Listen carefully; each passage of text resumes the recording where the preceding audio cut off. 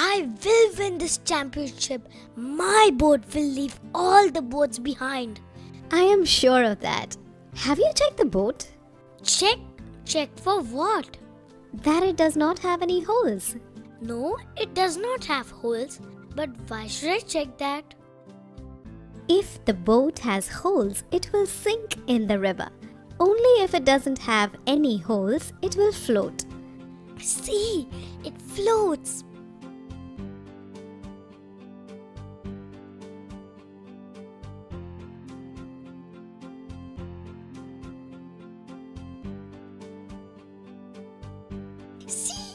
Boat crossed the finish line first.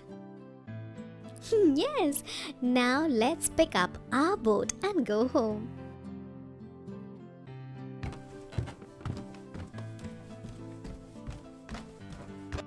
Careful, don't drop the keys in the water. Don't worry, I will pick up the keys as they float in the water. But the keys will not float on water, they will sink. Now you confused me. Some things float and others sink in water? yes, let's go home and I will explain it to you. We were talking about things floating and sinking in water. Mm-hmm.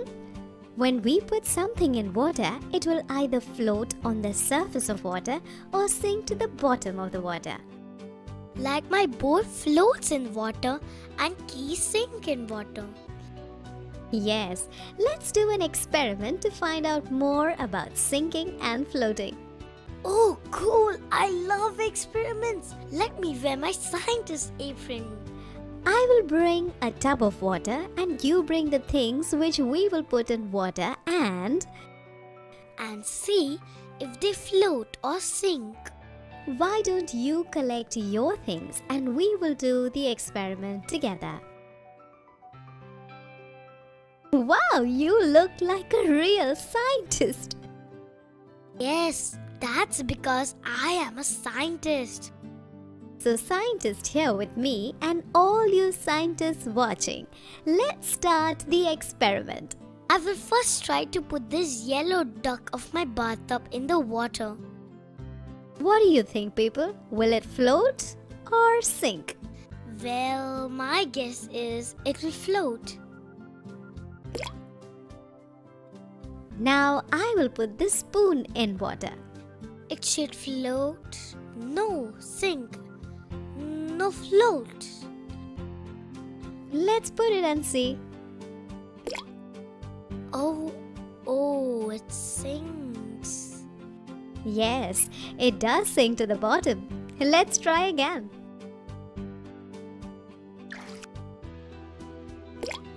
It sinks again. So we could conclude that spoon sinks in water. What about this rock? It will sink, I guess. Yes, it sinks. And my tennis ball? It should float. Oh, yes, it floats. And your cricket ball?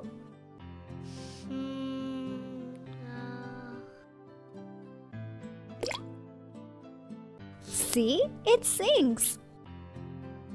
so now we have seen what floats and what sinks. But why do some things float and others sink? To understand that, you should first know what happens when we put something in water. What happens? It either sinks or floats. yes, sinking or floating is the result. Oh, do you mean the reason? Mm-hmm. Let's do another experiment to find out the reason. Okay, let's do it.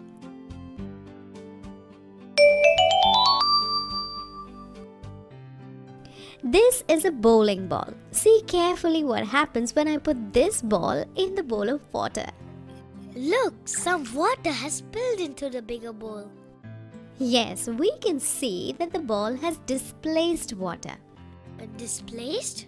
The bowling ball and the water cannot be at the same place at the same time. The water has to make way to make room for the bowling ball. This is called displacement. It means, Mm, being pushed out of place. yes, you got it. So everything that is put in water displaces water? Yes, and there is another interesting thing about this displacement of water.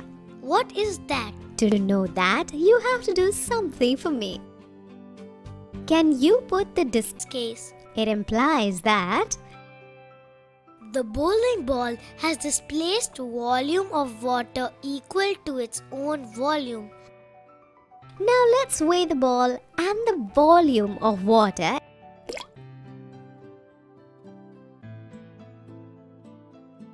The ball is heavier than the water it displaced. Now let's repeat the same experiment with your toy boat. Okay, Now put this toy boat in the bowl of water. okay. Let's see what happens now. It will displace water as all things. Mhm, yes. Now let's check the weight of the boat and the water it displaced on the balance. Oh, it balances. Yes, you see, the boat has displaced water equal to its own weight. Yes, also the boat was floating in water.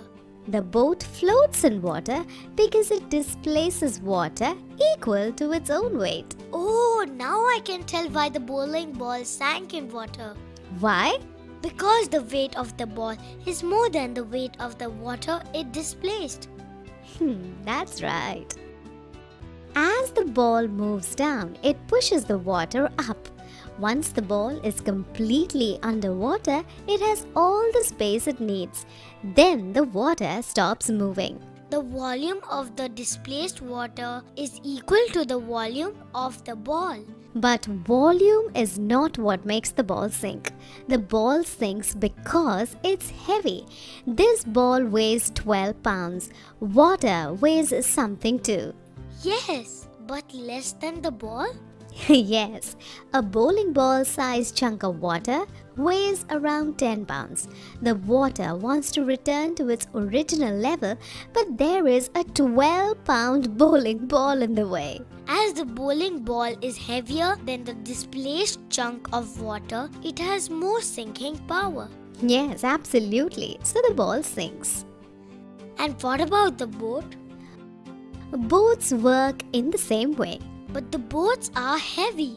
Yes, the boats are heavy, but they are also very large, and a lot of that space is just air.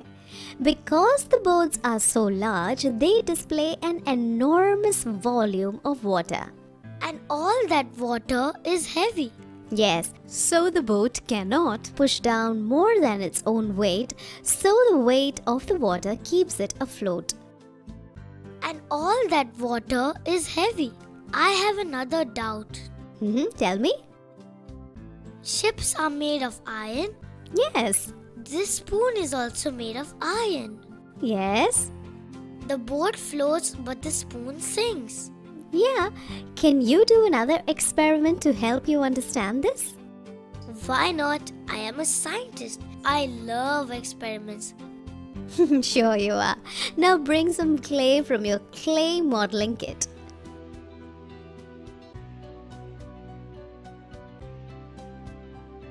See, if I make a ball out of this clay and drop it in the bowl, what will happen? It will sink. Hmm, yes, as you said, Jimmy, it sinks. Now, I will make a boat like structure with this clay and drop it in water. Okay, let's see what happens now. See, it floats. The same as the boat and the spoon. First, you must know what is the term in science for floating of things. Yes, I must know. After all, I'm a scientist. It's called buoyancy. Uh, buoyancy it is. And buoyancy depends not only on the weight of the object but also its shape. So, a boat floats in water because it is large in size and the spoon sinks because of its compact shape. Yes, that's right. Now, can you summarize what we have learned today? Yes, why not? Objects, when put in water, will displace water and either float or sink. This depends on two factors the weight of the object and the shape of the object. A good example is that of spoon and ship. Spoon and ship are made of same material, yet one sinks, another floats. This is because ship is large in size whereas the spoon is compact. Oh wow, you have grasped the facts. Here's your chocolate.